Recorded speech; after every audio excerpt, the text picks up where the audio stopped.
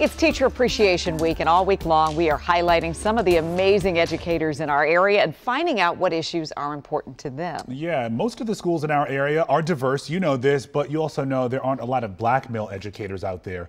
Our Marcella Robertson recently sat down with two teachers from our community to find out what their presence in the classroom means to their students.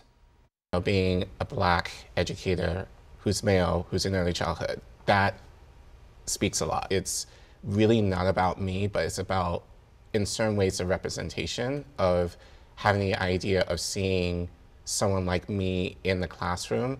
For many of my students, this may be the only opportunity that they have to have someone like me as part of their lives. In a um, culture that has traditionally kept black men in this, this, this, kept this idea of us being very aggressive and very one-dimensional, very anti-intellectual, almost animalistic for all of these kids, regardless of their color, to be in the care of a black male teacher and, and literally the care of where you are listening to them, you're remembering the things that they have endured, uh, you know, and, the, and often showing up for it. Um, I think that that is an extremely powerful thing.